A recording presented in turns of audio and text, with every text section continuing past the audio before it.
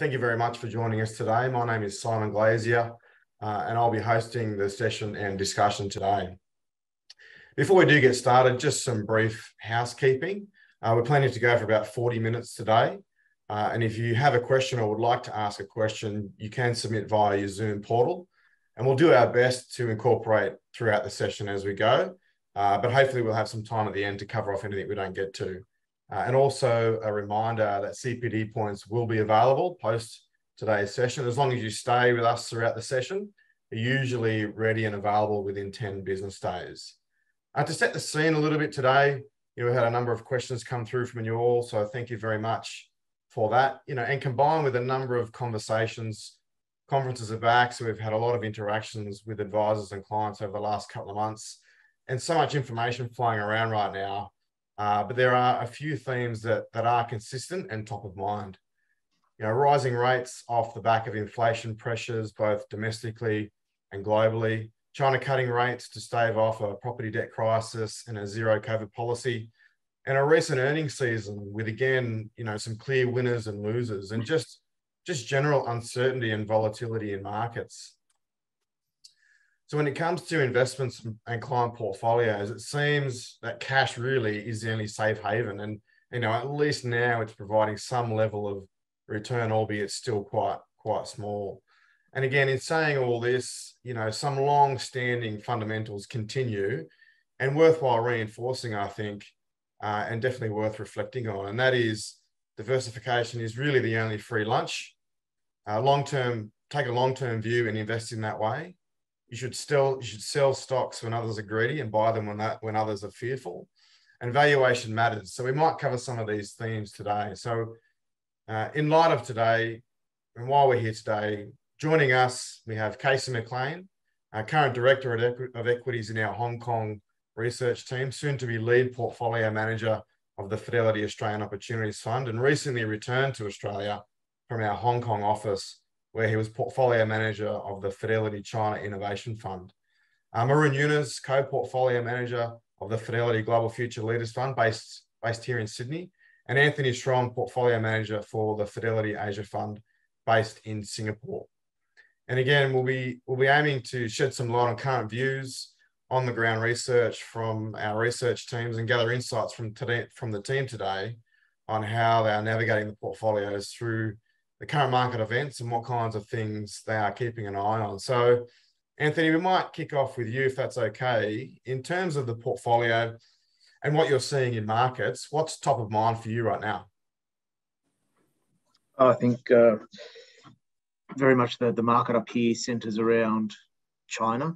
Um, you're still seeing a lot of news flow related to the property market. I think just given how critical it is to GDP growth there. Um, so what are, you, what are you seeing? What are you doing? Um, early days, but kind of seems like you're getting a bit of traction um, with respect to restarts of property, mortgage repayments starting, contracted sales rising. Um, so again, it's, it's early days, but um, potentially where we're close to trough, if not maybe passing trough, um, with respect to the, the property market in, in China. And again, it's, it's, it's an area that um, you'd say has had a, a lot of negativity um, over the last, say, 12, 18 months. Um, part regulation, and I think part near term, again, just seeing what's happening with, with global macro has, has scared investors as well. So that's an area of interest to me, just given how beat, beaten up the sector is um, with respect to um, sentiment, also valuations. And as I mentioned, you know, fundamentals look like we're kind of getting close to close to trough. I think on the flip side, uh, within the region. What, what looks interesting is just how India um, is kind of standing out. It's just uh, powered through kind of any macro concerns around rates, um, Russia, Ukraine, with with what's happened with oil prices. They've kind of dodged a bullet there by buying cheap Russian crude, and and uh, it's, it's been a massively outperforming market. So that's on the flip side, and, and we'll just see how it goes from here. Whether there's a bit of rotation happening within the region, but that's kind of what's front of mind. And again, just lack of ideas coming through in India, given how expensive and well loved the market is. Appreciate that, Anthony. It's a it's a really good start. Um, no no real, I suppose, easy answers at the moment, but uh, Marina might throw to you. Same same question, top of mind right now. What's happening? Yeah, so it's it's basically the uh, the inverse of of what Anthony's seeing in Asia. Um, if you sort of look at Europe and, and the US, which is sort of the, the two dominant regions from a global perspective, uh, there's a lot of complexity going on with the macro, and it's it's, um, it's actually peaking rather than troughing over there. So so for us, I think. Um, the core focus really i think if you can sum it up in one word would be will be resiliency uh, so what we're looking for really is um, businesses that are resilient um, with their revenue streams. Um, you know, so perhaps that they, they, have um, non-discretionary type, um, you know, activities. Uh, we're also trying to focus on businesses that have resilient margins. Um, whether that be through pricing power uh, to offset any sort of inflation, or whether it be through uh, more variable cost bases, and so they can sort of flex their cost base up and down um, as as the the, the revenues um, uh, evolve. Also looking for resiliency in terms of balance sheets. Um, so uh, you know relatively low gearing levels that has a number of different um, benefits. Um, it allows you obviously to, to increase your survivability rates if we head into a recession and it sort of increasingly looks like um, you know the, the, the Fed may may you know eventually push too hard on the brakes and I think that's sort of a key concern for us. So you, you want you want businesses that have higher survivability rates. You want businesses that are going to be less impacted by the rising funding costs. Um, and then also from an offensive perspective, you also want businesses that have uh, the flexibility um, to be able to deploy, um, you know, the, the, the, the ability to fund uh, you know, opportunistic M&A if some of their competitors fall by the wayside, or even uh, be opportunistic in terms of buybacks if, if stock prices, you know, take another leg down from here. So that really, I think, sort of sums up the, the key focus for us right now. Thanks. We might dive into a couple of those things as we go throughout to, uh, throughout the session today. Casey, your thoughts? Yeah, thanks, Simon. Yeah, for me, I think in Australia and, and indeed globally, uh, top of mind is just how restrictive monetary policy settings are going to become. Uh, and, and what that really means for valuations and, and earnings. Um, I think uh, you know the, the, the Fed in the US um, they're they're going to be in restrictive territory by year end, um, even if core inflation has peaked there. You know, with last night's print, uh, I don't think they're happy with the current settings, and we'll want to get it back to the sort of two percent level uh, eventually and similarly, I think yeah, has made it clear that um, yeah, price stability is their number one goal and, and really a prerequisite for uh, stable economic growth. So they're very intent to take the heat out of the economy uh, and, and are happy to see you know growth slow, employment weaken, and, and definitely um, uh, happy to see house prices decline as well. So I think you, you, are in for a you know old-fashioned sort of macro slowdown. That means you know downside um, risk to earnings. I think particularly um, cognizant of that in, in the consumer sector, where you know obviously mortgage costs going up, petrol costs are going to rise with the excess excise tax coming back on. Know, energy prices very high, and um, and you know even companies like Woolworths saying you know, food prices haven't yet peaked as well. Um, and and to me as well, I'm, I'm closely monitoring New Zealand um, as as a sort of canary in the coal mine. Uh, I think uh, yeah, the RBNZ um, reacted much earlier. Rates have gone up much sharper and that's really having a, it's starting to have an effect on the economy there with um, consumer spending declining, yeah, unemployment starting to rise, and then house prices really uh, coming off quite quickly there as well. Yeah, thank you, Casey. And I think coming out of the GFC too, New Zealand led the way from a rates perspective, and we soon soon followed. So yeah, canary in the coal mine. Yeah, agree. Interesting. And I might stay with you, Casey, if that's all right, given uh, your comments around particularly the RBA and, and views of the Fed and continuing to target that sort of two to three bound of inflation. If we think about the portfolio and in particular some of the sectors that that you know, to quote you, Maroun, prove to be more resilient and, and offer some resiliency in, in portfolios. What are your thoughts there, Casey? Yeah, uh, I, I, guess you know there, there's um, for me, I, I think one of the more resilient areas perhaps could be in the energy sector. And I guess I would um, contrast that with the sort of metals and mining sector.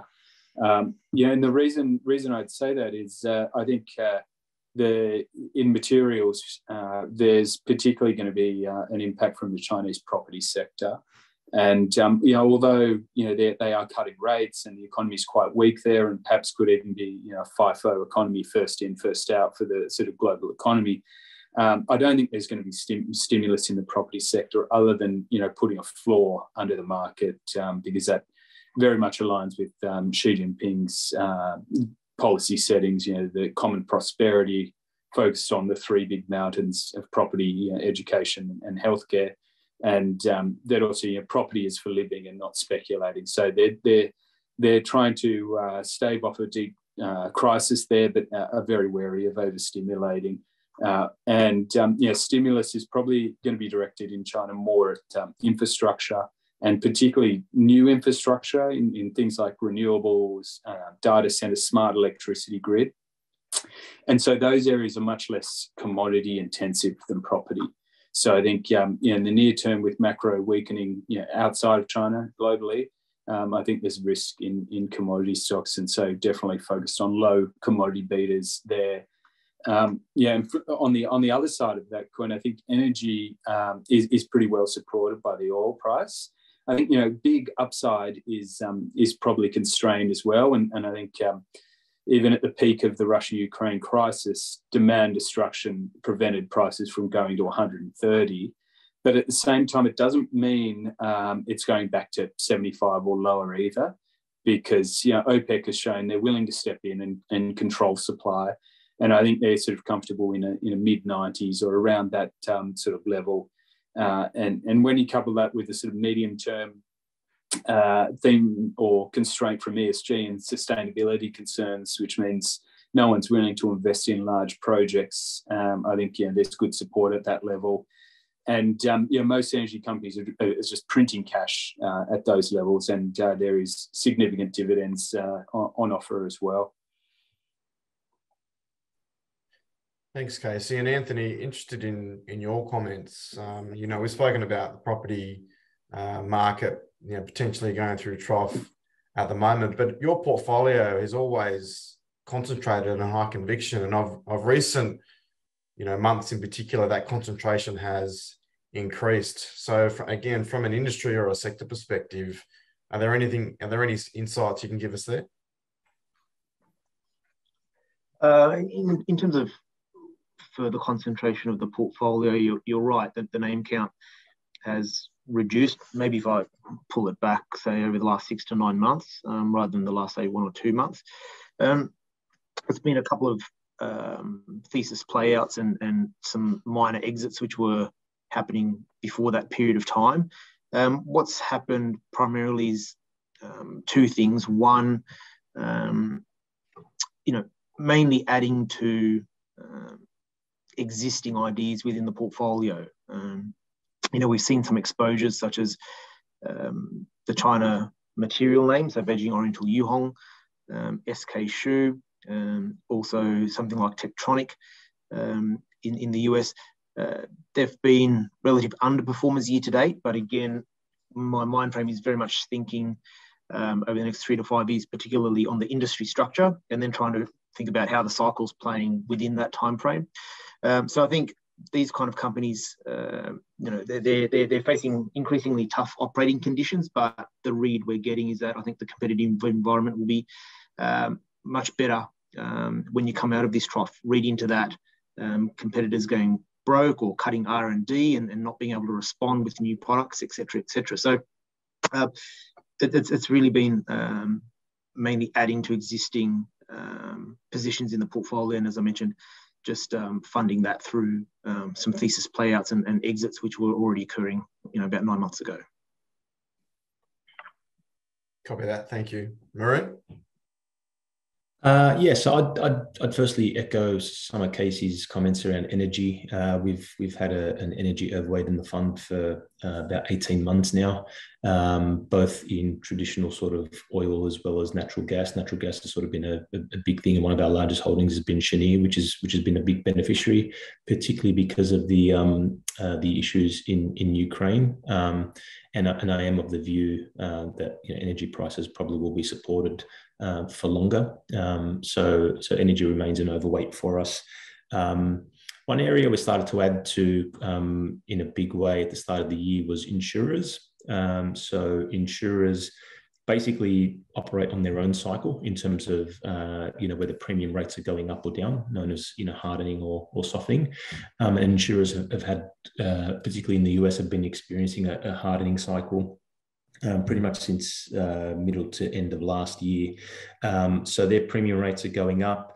Uh, the other thing about insurers is obviously they take your money in advance you know, when you pay your premiums, um, and that sort of sits as a, a liability um, in terms of unearned income on, on their balance sheet. And so basically they have um, you know, X amount of time until your um, policy period runs out for them to do whatever they want. Usually they invest um, the, the, those, those um, premiums in short-term uh, fixed income uh, for a long period of time. They haven't really been earning much money on, on, on those investments, given where yields are. But now that sort of yields are, uh, are you know back up to healthy levels and continuing to go up, um, all of a sudden now these insurers are able to earn um, you know quite a bit more money on on, on that sort of prepaid um, premium. So you've you've got two uh, positive trends uh, for insurers' top lines.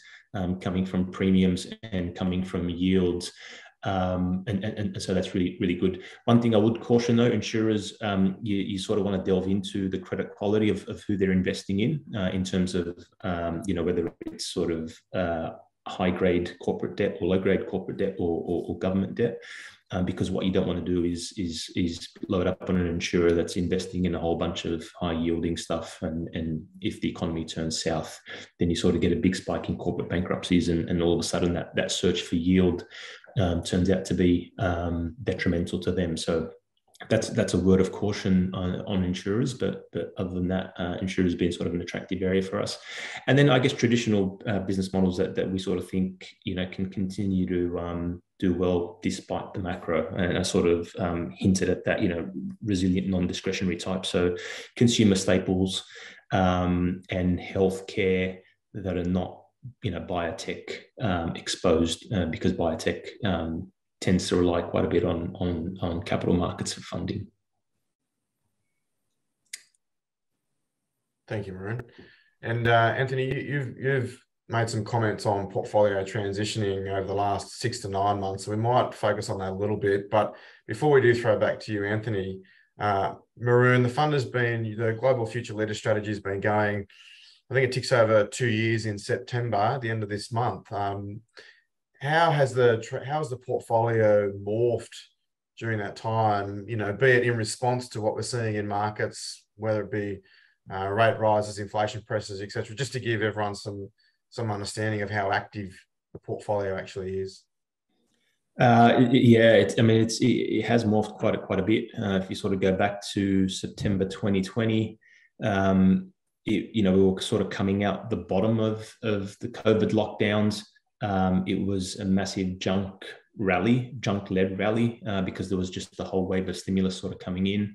Um, we, we started to increase our cyclical exposure uh, at that point in time, remaining on the quality end of the spectrum, uh, I might add, rather than sort of chasing junk.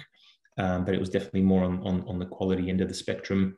Um, some, some cyclicals via industrials, uh, I mentioned sort of energy. Um, so we, we basically started to build up an, energy overweight position uh, towards the end of 2020 and heading into 2021. Uh, and we basically maintained that um, all the way through. Um, and we've sort of trimmed some of that. We started to trim a little bit of energy at the start of the year before Russia and, and Ukraine, um, uh, but we've sort of maintained a, a, an overweight position since then. Um, and then really just concentrating on on stocks that we like. Now we're sort of moving more in towards stocks that we feel like you know can can weather um, any potential macro storms. Um, but the turnover, particularly over the last six months, has actually been quite low, um, and I think that's a, a, testament to to the fact that we're quite happy with the, the balance of the portfolio and, and, and how it's positioned, and we feel like we have um, quite a bit of um, you know reasonably good defensive exposure in there that and, and, and you know high quality from cash generation, from good management teams, and from the ability to sort of um, scoop up competitors, um, you know, who, who, potentially may may fall into trouble. So uh, right now we're not doing a whole lot, um, primarily because we're quite happy with with how things are, and so, and so we're looking really to add a bit more to, to the names that we have. Um, but yeah, definitely has sort of evolved quite a bit of over that you know two year time frame.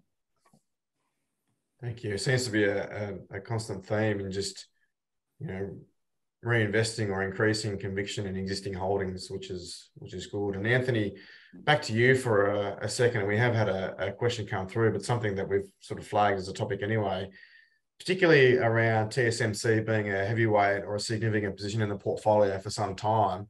Just interested in your views around the, the semiconductor landscape, in particular, you know, when you've got um, countries like the US trying to increase supply uh, and even onshoring of semis more broadly, how do you see that potentially evolving or impacting the portfolio? Oh, in terms of how you see it impacting the portfolio, I think um, maybe two aspects: one at the company level, and the second one at geopolitics, and uh, maybe thirdly, I mean, Casey, um, pretty close to the tech space, so he might want to chime in as well with some comments around that. Um, but you know, at, at, the geopolitical level, you know, I think there's a, a, a lot of concern that you know um, China may invade Taiwan or relations may get a little bit tense. Um, you know, it's kind of not my base case that that you'll that you'll see a see a war there. It's more I think China will just chip away, chip away, chip away over time for incremental advantage, um, which is you know what they've done thus far. If you look at um, what's happened within the region, and from a portfolio perspective, um, you know TSMC is, a decent percent of the NAV, but as an active position, you know, substantially less. It's, it's pretty circa 300 basis points, and then you just bring it down to well, you know, kind of at the country level, how exposed is, is the portfolio, and and you know, if you aggregate China, Taiwan, um, you know, it's a single digit overweight for for the Fidelity Asia Fund. So if, if you know, basically all hell breaks loose um, tomorrow, unfortunately, you know, I don't think it would be, you know, dramatically, uh, um, you know, I don't think you'd see dramatic effects on the portfolio because there'd be other swings and roundabouts in the market to kind of compromise some of that negativity that you that you'd see coming through Taiwan, China. So that, that's kind of how I think about it geopolitically.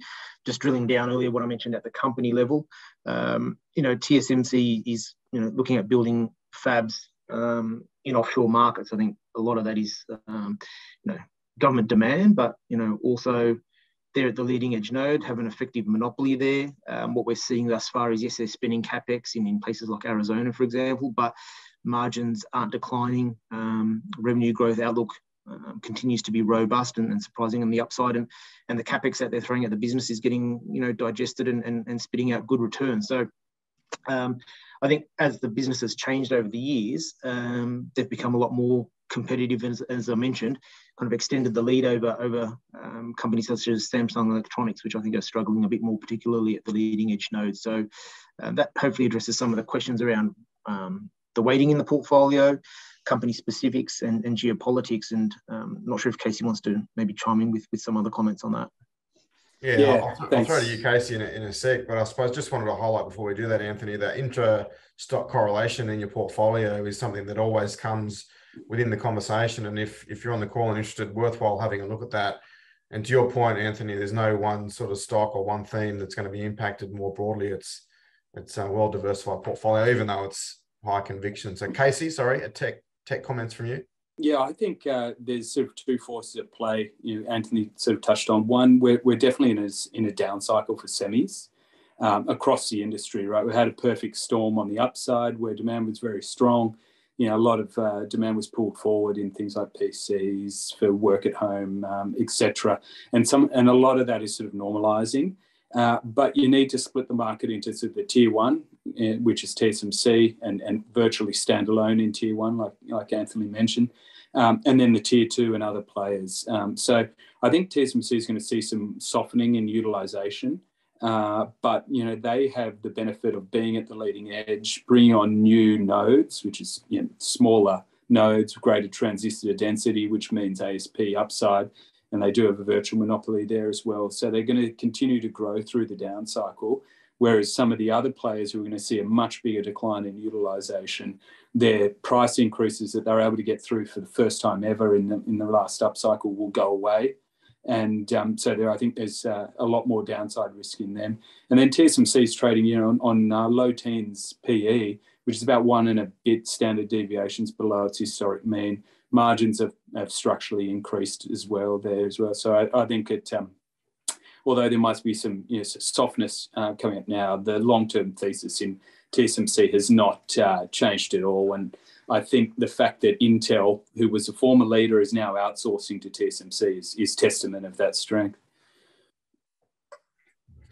Yeah, I mean, just as a consumer and obviously reader of the news, there's still some pent up supply, even if you just think about automotives and the fact that new cars are coming out with less technology than the previous model, all based on you know the comments around shortage of of chips, etc. Um, yeah, thank you for comments. Uh, that's really good. And uh, and you know we talked about it there, Casey. You are a tech analyst uh, throughout Asia, so something that I'm keen to hear from you all on is the engagement with the research team, uh, both domestically and globally. What what are some of the insights that they're they're bringing to you now? What are some of the ideas they're they're really focusing on, and how do you interact with the teams more broadly? Casey, might stay with you. Yeah, yeah, great. I mean, um, I mean, the, the key things I'm sort of focusing on at the moment, I guess, is you know the potential downside risk to earnings in in, in companies. So, you know, as sort of Maroun mentioned, after that resilient company with yes, of, strong visibility and growth, strong balance sheet with strong cash flow. So, testing the downside risk in in um, some of those uh, companies there. Um, and the other thing is just sort of separating the COVID winners from the COVID losers. Uh, and I think you know healthcare is is one area particularly focused there because you could easily split the, that sector into two camps. You know, those that have benefited from COVID, and there's going to be a big normalisation coming, and then those that are hurt by COVID and, and probably have upside risk from that normalisation. So, you know, these are companies where elective surgery was impacted uh, or, plas- or collections, plasma collections have declined, um, and or the facilities were taken over by COVID patients, and, and indeed, you know, their, their staff costs have ballooned as well because you often had duplication in, in that as well. So um, I think you know some of these companies with you know visible strong earnings and are going to benefit from a normalisation. They're they're the ones that are really delving into the opportunities with the analyst team now. Thank you. Maroun? Uh, yeah, look, I, I, don't think our engagement with the analyst team has, has really changed. Um, perhaps, you know, little areas of focus, but, you know, we, we have a very methodical and, and, and sort of systematic process of engaging with the analysts. Um, you know, every single week we're sort of catching up with between two and, and, and three analysts globally around the world, going through um, their sector, going through the stocks they cover, um, looking at uh, the overlapping names, you know, in, in the portfolio that they cover. Um, uh, and, and then basically same sort of thing as, as Casey said, you know, testing downside risk, uh, because that is sort of, you know, front of mind for us right now, um, given sort of where, you know, the trends in, in US and Europe are going. So, and the last thing you want to do is, is, is be surprised, you know, in, in the midst of a crisis, um, a, a, about a particular point of vulnerability that you know the, one of the companies had. Um, so what you want to do is is literally go through uh, with a fine tooth comb every single company, um, potential points of vulnerability, the you know the areas they're exposed to, the areas that could see quite a bit of downside, and you want to make sure that you're capturing that risk um, and that you're aware of that risk um, and that you're being you know properly compensated for, for, for, taking on that risk. So we're always looking at the stocks that we own. We're also going through with analysts and, and sort of looking at um, you know higher conviction names in their space that we don't own that we could own um, and then you know brushing up on those um, either uh, you know doing a, a deep dive or, or, or, sort of just sort of keeping in front of mind there. Because the other thing you want to do is also have a short list of candidates. Um, should you know the markets take another leg down stocks that perhaps you've you've always wanted to own that you you, you know perhaps found in the past that were you know perhaps a little bit too pricey they may come into you know that that sort of sweet spot where they where they hit your buy zone. So and and you don't want to be doing the work at that point in time because you don't know how long that window of opportunity lasts for. So i think you want to do the work up front and that's what we're sort of doing right now. So looking at the names that we own and then looking at names you know that could be in that next tier that we don't own that we could own if sort of conditions um, present themselves and, and, and, sort of making sure that you know we're, we're on top of that. Thanks Maroun thanks Casey. And in terms of uh, that focus on downside I mean I'm, I'm assuming that's always always the discussion with the analyst team. Is that fair to say Anthony?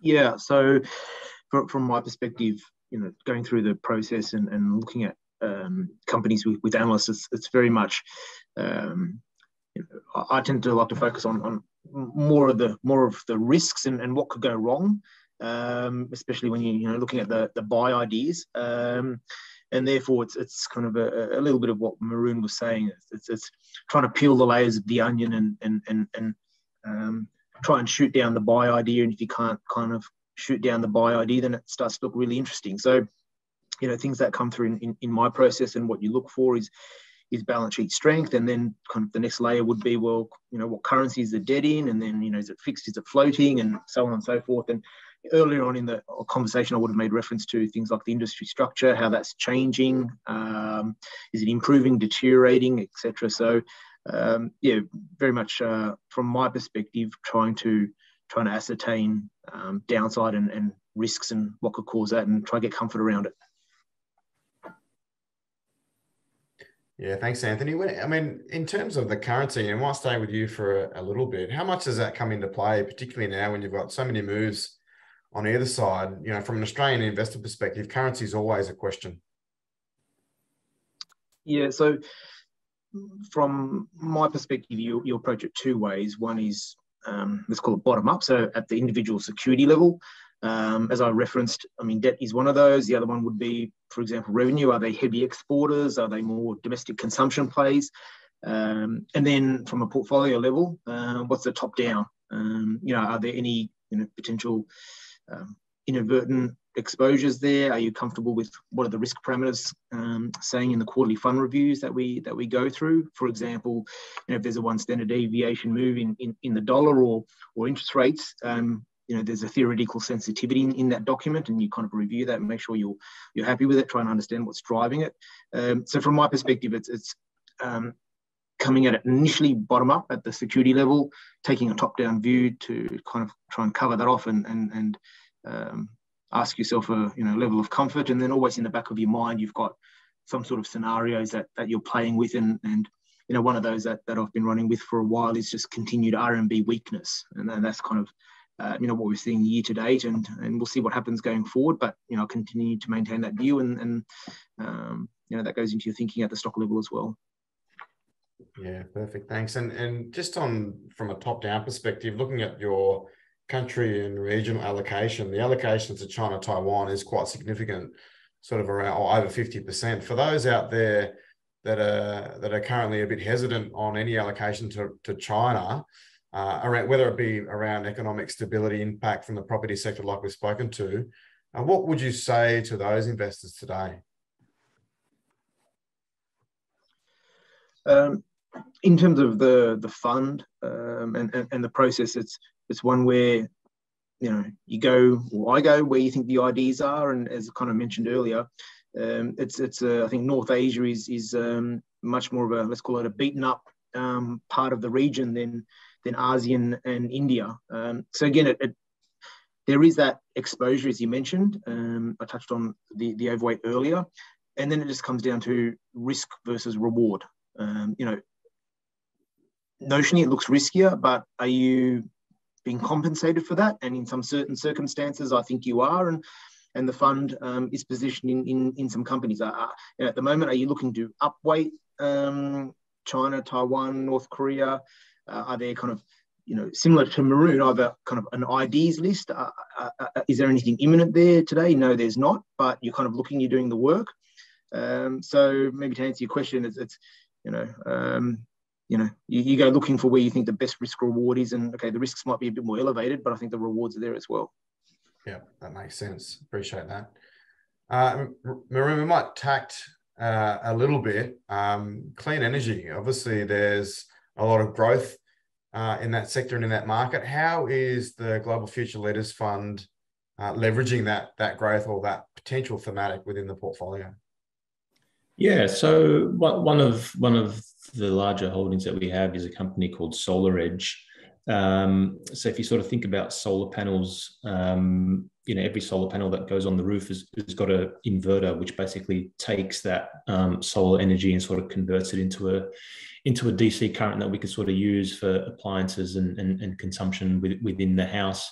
Um, the legacy technology uh, is something that's known as a string inverter, uh, where all of your cells and panels are sort of um, you know organized in in a string.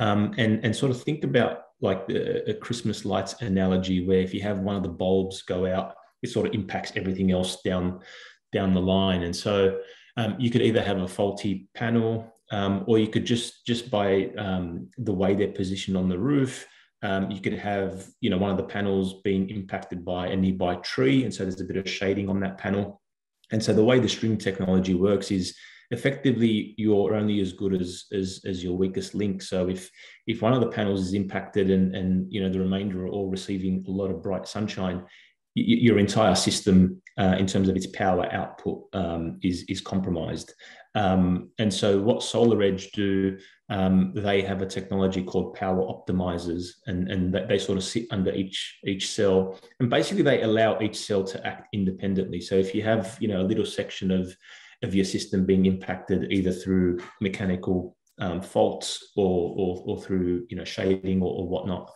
only that particular area um, is impacted in terms of its its energy output. Everything else that's still receiving, um, you know, complete sunlight and, and, is operating at 100% efficiency will continue to generate 100% um, power output. So it really is a much superior technology. Um, these guys uh, are the leaders in, in that power optimization space. There's another company called Enphase, which which do uh, microinverters, which effectively address uh, the, you know the same sort of problem from a, from a different perspective.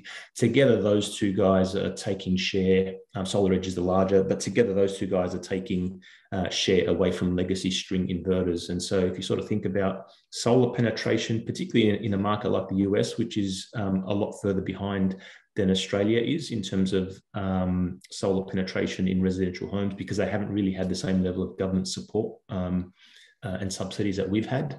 So, you know, that, that that's a long-term thematic there, just in terms of increasing number of um, homes being penetrated with solar. You add to that the fact that these, uh, you know, superior technology forms are taking share away from string inverters. So you, you also have sort of a, another market penetration um, level on top of that. Uh, you know, so in terms of top line trends for the next five ten years, um, that, that that's that's very attractive. It already generates right now very strong margins, very strong returns, um, has a really good balance sheet. So for us, um, a company like SolarEdge, they're, they're also getting into adjacencies. So they're making batteries. Um, they, they do software tools that you could sort of you know manage your entire solar system.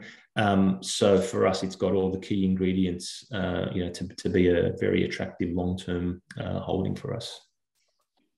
Thanks, Maroun. I love that Christmas light analogy. And to be honest, I've done, I've done, you know, one of my best Griswold, Clark Griswold impersonations at Christmas time many years ago, trying to find that bulb. I swear, unbelievable. Great, great, uh, great analogy. And Casey, to throw to you, you know, the uh, Australia is a strong metals and mining industry, as we as we know, but it's currently in the crosshairs from an ESG perspective.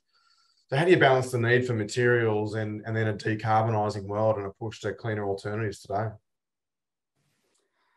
Yeah, I think um, you know it'd be very very easy to split the the commodity world in Australia into two camps. You know, the old uh, old world polluting commodities where you know coal's the poster boy and oil's not far behind, um, and then the likes of you know, steel or, or and aluminium on top of that.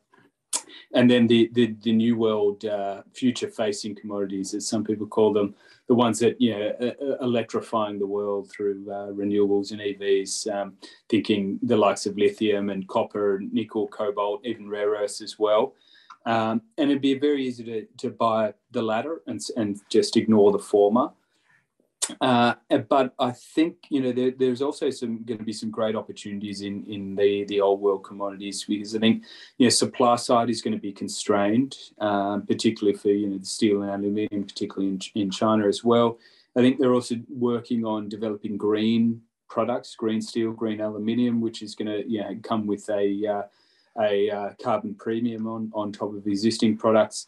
And um, yeah, some of these companies as well, they're working on uh, carbon capture technologies as well and new ways of, of, manufacturing as well. So, you know, I think there's there's great uh, long-term growth potential in those future-facing commodities, but uh, I think the, the risk is just ignoring some of those old can, uh, old uh, world commodities as well